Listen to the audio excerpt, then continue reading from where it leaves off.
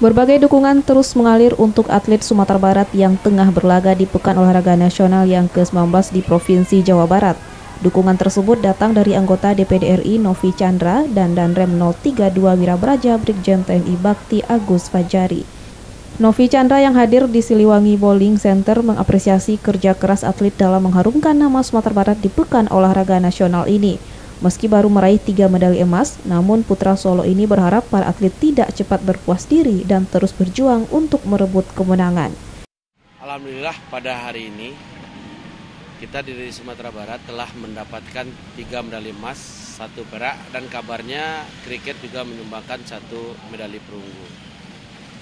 Dan dari informasi yang kita dapat itu belum dari cabang-cabang andalan atau unggulan yang di harapkan untuk mendulang medali.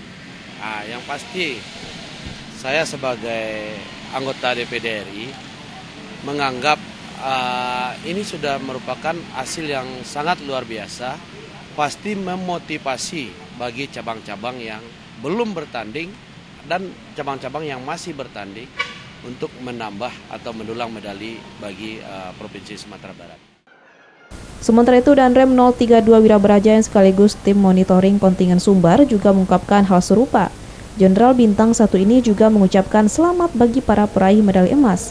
Ia berharap dapat menjadi pemacu semangat atlet-atlet lainnya.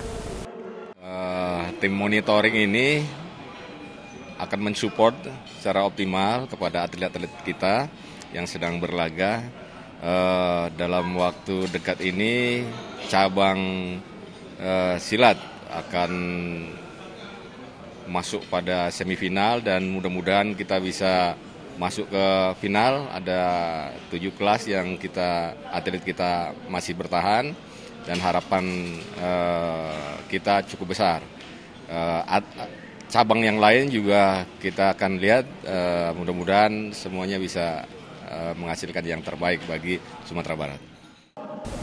Saat ini Sumatera Barat baru memperoleh tiga medali emas, satu perak, dan satu medali perunggu. Dari Bandung, Jawa Barat, Erika Marta, Padang TV.